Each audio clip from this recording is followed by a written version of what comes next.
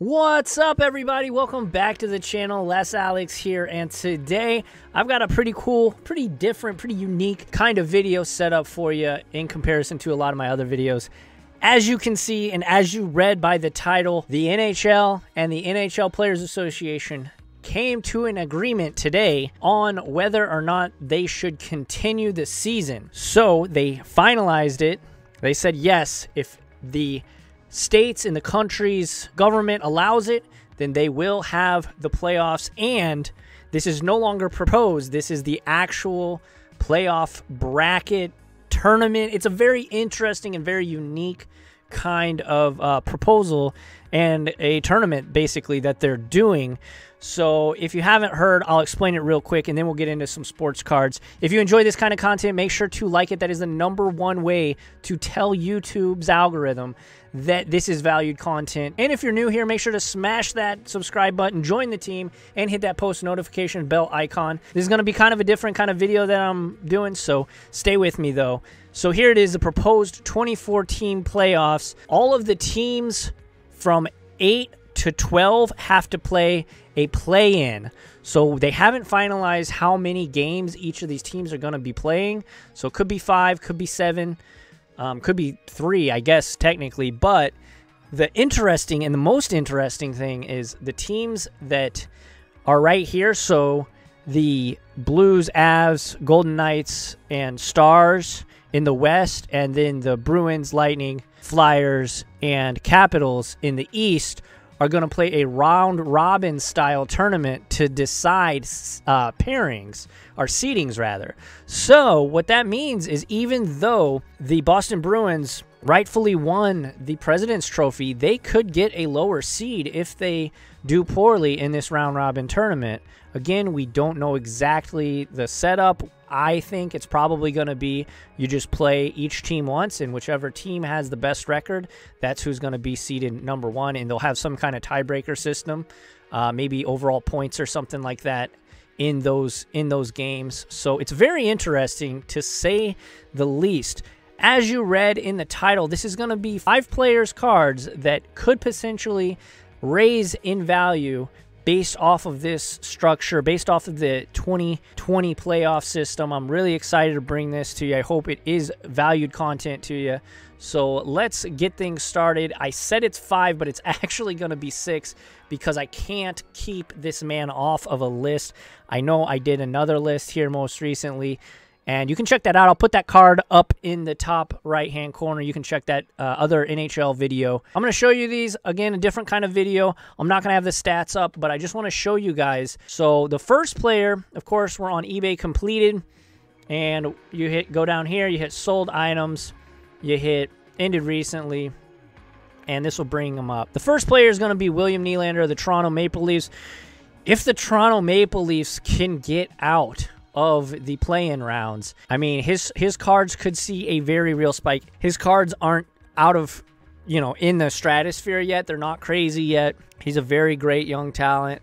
$75 for his PSA 10 here and then 17 to 18 for his raws. So Again, I think there is humongous upside for him. Here's one that was 11 bucks. That was on the 25th, so just a couple days ago, $11 raw. That is not bad. You include shipping, that's 15.50. To kind of book in that point with the Young Guns hype and with the Maple Leafs hype, I do have to mention Auston Matthews. He is one of the leaders on this team. No, he's not wearing the C quite yet, but he is definitely their uh, hottest player. You know, he's one of their most exciting players. So Auston Matthews, yes, I, I understand that price is expensive.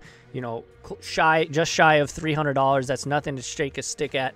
But oh my gosh, guys, if they win the cup, his price specifically will I could see it more than doubling because oh my gosh, it Maple Leafs. It's it's the biggest fan base in the NHL. If you compare him to other players, even Connor McDavid, who may or may not be on this list in the $600 range for his PSA 10. So I think Auston Matthews is a great get here, especially especially if they can, you know, go deep into this playoffs and if they win, oh my gosh, the sky's the limit for Matthews and Nylander. but specifically for for Matthews. So you know, $300 range. You can also obviously go after the Raws. They're about one 150 to 175. So Auston Matthews again is going to be the second player on this list, kind of combining him with Nylander. The next player I wanted to talk about is a New York Ranger, New York Ranger. Now, obviously, he's not wearing a Rangers uni in this one because he was not drafted by them. Artemi Panarin, in my opinion, very underrated. His raw cards are under 20 bucks, so that's a great spot to be if you're on a budget. His tins are starting to creep up there, but still $100. If they can hoist the trophy, he could see a huge spike. I'm really excited for him. He's one of the best young players that really is under the radar, honestly. I really like Artemi Panarin as my second official pick. Next up, we have another exciting player, an all star player, a Calder Trophy winner, Nathan MacKinnon. Nathan MacKinnon on the Avalanche, as you can see, he's a beast. He is an absolute stud. He is a big, big time points getter. And I think if you know, he can take the Colorado Avalanche. They've got a very loyal fan base. They're one of the American teams that I would definitely, definitely be investing in. You know, that's what I say all the time is if you're investing in sports cards, in hockey cards specifically, you want to go with teams in Canada more often than not just because their fan bases are so much larger than the teams in the United States. So for that reason, I typically try and stay away from some of the smaller market teams. Avalanche have a great fan base. Obviously, that price tag is not cheap, but he is on the level, eh, close to on the level of Auston Matthews. So I think this is a fine get here. If we scroll down and look at some of his raws right around $100, I could see these going up to 180 to $200 raw and the same multiplier to the PSA 10s as well because a cup is so much clout, guys. A cup means so much in the world of hockey if you're not familiar. Next guy I want to talk about is Jordan Binnington. Jordan Binnington, obviously, I'm a Blues fan, so maybe this is a little bit of a biased pick, but personally, he won a Stanley Cup his first season. He came in second place in the Calder Trophy voting, so that's Rookie of the Year for those of you that don't uh, don't hockey.